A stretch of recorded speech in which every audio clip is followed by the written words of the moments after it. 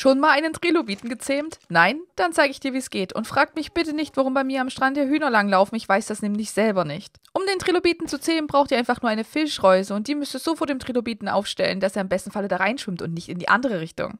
Die braucht nämlich eine Zeit, bis ihr sie auslösen könnt und dann habt ihr ihn eigentlich auch schon gefangen. Das ist jetzt wie so eine Art Kryokapsel. Wenn ihr den jetzt rauswerft, ist sie aber weg. Das heißt, um ihn dann wieder reinzunehmen, müsst ihr eine neue Kryokapsel machen oder einen neuen Fischbasket. Fragt mich jetzt bitte nicht, wofür ihr die braucht. Manche Leute lassen die einfach am Strand und verstecken ihren Stuff da drin. Ich bin so eine, die am Strand rumrennt und jeden Trilobiten killt, um die Perlen zu formen. Also ich würde das nicht machen. Aber vielleicht hat einer von euch ja die Challenge. Ich zähle mir jedes unnütze Vieh in Alk und das wäre dann genau das Richtige dafür.